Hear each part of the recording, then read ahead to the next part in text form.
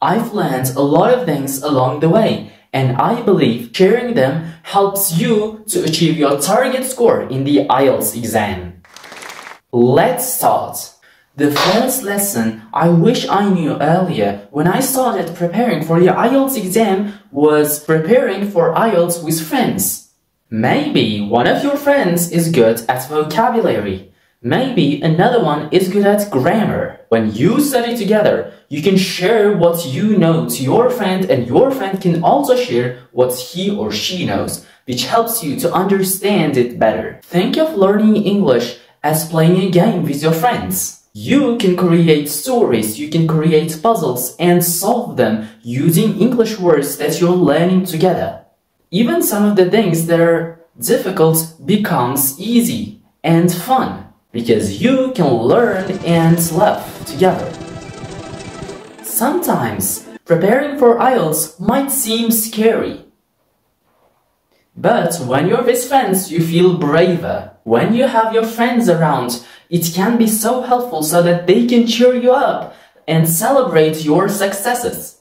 You can have speaking mock sessions and write essays and give feedback to each other. You can even listen to English songs or watch movies together to improve your listening skills. When you prepare for the IELTS exam with your friends, you will be more confident to take the IELTS exam. Plus, if you make mistakes, it's okay because your friends are there to, to help you learn. Moving on to the second lesson, that is not having a strong why. Let's imagine you're training to run a marathon, very big marathon. Having a strong why is like having a powerful reason to run that race. Just like in a rain, there are times where you want to stop but if you have a strong why, like proving to yourself that you can do this, this helps you to keep going, even though when your legs are like jelly. Just like having a strong reason to run a marathon or a race is so helpful to boost your confidence, even in the IELTS exam, having a strong why can be important for your confidence. Whether it's to study abroad, work, or get a better job or communicate with many people, knowing your why helps you to know that you're working towards something that is meaningful to you personally. In a race, you might feel obstacles like hills or any other challenges. Similarly, while preparing for the IELTS exam, you might face some challenges.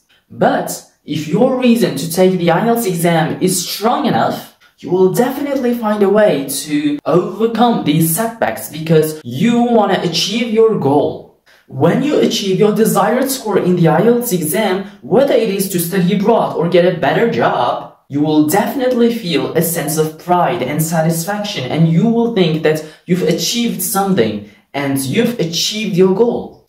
And you definitely know that your hard work has paid off. Just like having a strong reason for running a race keeps you motivated, focused, and determined to reach the finish line, having a strong reason for preparing for the IELTS exam keeps you on track towards achieving your goal, no matter what challenges you face along the way. The third lesson I wish I knew when I started preparing for IELTS is vocabulary building regularly. Imagine that you are a chef who is preparing for a huge competition. Just like how a chef needs different types of ingredients to make tasty dishes. Building your vocabulary for the IELTS test is like collecting all the right words for perfect answers. Imagine if all the dishes in a cooking competition tasted the same. This wouldn't be very exciting, right? Similarly, using different types of words in writing and speaking helps you to vary your language. Instead of saying the same thing over and over again, my suggestion is to use different types of words. Even in listening and reading parts of the IELTS test, building vocabulary can be so important because it helps you to understand the text. So, just like a chef who needs different ingredients to make tasty dishes, Having a big vocabulary helps you to make great answers in the IELTS test. Let's move on to lesson number four, which is being honest. Imagine you're playing a game with your friends and being honest means to tell the truth and be fair. So when preparing for the IELTS test, being honest is like playing a game of studying fairly. Just like playing a game becomes more fun when everybody is following the rules, studying for the IELTS test is gonna become more effective when you will be honest about your strengths and weaknesses. When you pretend you understand something when you don't, miss out on learning about that thing. So, being honest helps you to focus on the areas where you need improvement. Imagine if you pretended to be really good at a game, but then you struggled when it was your turn to play. It wouldn't feel good, right? Similarly, if you're not honest about your English skills when you're preparing for the IELTS exam, might feel nervous or unsure during the actual exam. But if you're being honest about your English skills and you understand your weaknesses and work on them, you will feel much more confident during the actual IELTS test. If you're struggling with the game, you might ask your friends for tips to get better, right?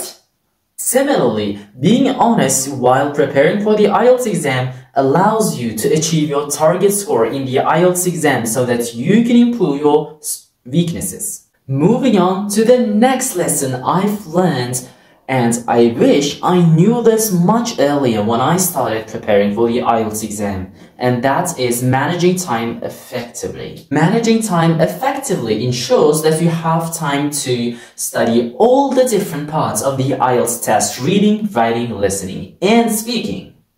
This way, you're well prepared for every aspect of the IELTS test. It means finding a balance between studying for the test and doing some other things that you enjoy, like hobbies or spending time with friends and family. This helps you to prevent burnout and keep you motivated. It's about organizing your study materials and resources. This includes keeping track of deadlines, setting goals, and breaking down your study sessions. Managing your time effectively while preparing for the IELTS test includes planning when to study, doing other activities that are fun that you enjoy, and staying organized so that you cover all the topics that are needed for you to succeed in your IELTS exam. It helps you to feel ready and confident for the IELTS exam while making studying less stressful. The next lesson I wish I knew when I started preparing for the IELTS exam is focusing on the quality rather than quantity of practice tests that I take. Taking a few practice tests is much better than taking a lot of practice tests and feel overwhelmed. It is much better to focus on quality practice rather than doing a lot of practice without learning anything from those tests. Try to analyze every single question in your test and identify the mistakes that you're making and then identify some common question type that you're having a lot of your mistakes on. And then my suggestion is to work on those question types and turn them into your strengths. Also, don't forget to look out for distractions and be aware of lots of different types of distractions that you are having while taking those few tests rather than doing lots of those tests.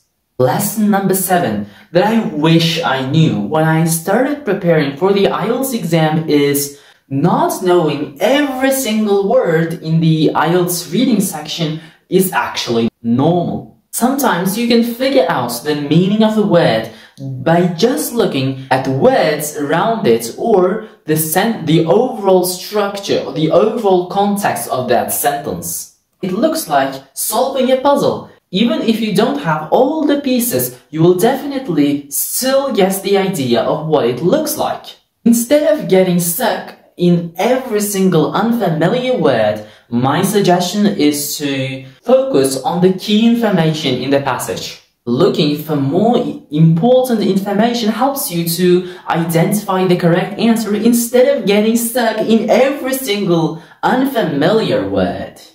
If you come across a word that you're not sure about, my suggestion is to make an educated guess. You might be thinking how. And you can make an educated guess by looking at the sentence or by looking at the sentences before that or after that, or looking by just looking at the paragraph, the main idea of that paragraph. When you make an educated guess, you might not get it exactly right, but you will definitely get it closely enough to understand the passage overall. Finally, remember that it's okay to not know every single word. We are humans and we can, we might not know every single word and my suggestion is to not make yourself panic in the real exam when you don't know a word and stay calm when you encounter an unfamiliar word. So, stay calm, use the strategies you've learned, and do your best overall.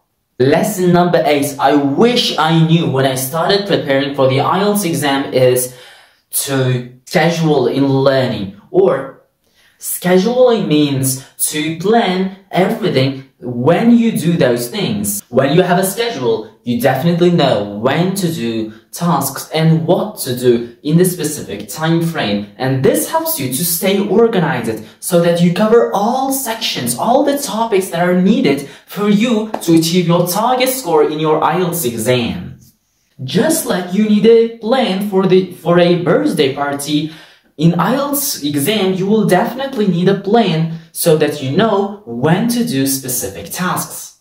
Before the party, you might create a to-do list where you write down what you're gonna do before your birthday party. For example, you might write decorating or baking a cake or inviting friends. Similarly, in the IELTS exam, when you're preparing for the IELTS exam, you will definitely need to write down what you're gonna do to achieve your target score. When preparing for the IELTS exam, scheduling means breaking down your study tasks and practice reading one day, listening in another day, and so on. Even though you're busy preparing for a birthday party, you will still take some time to do stuff that you enjoy doing. For example, watching a movie with your friends or spending time with your family. And the most important thing, even in the IELTS exam, is that you enjoy on the day of a party. You will definitely feel excited and ready to celebrate. Similarly, in the IELTS exam, because you've prepared everything and because you've planned it down every single task that you had to do and did all of those, you will definitely feel confident and ace your IELTS exam and you will definitely get your desired score in the IELTS exam. If you want the ultimate guide on how to improve your IELTS writing academic task 1 score, I recommend you to watch the video that you can see somewhere on the screen.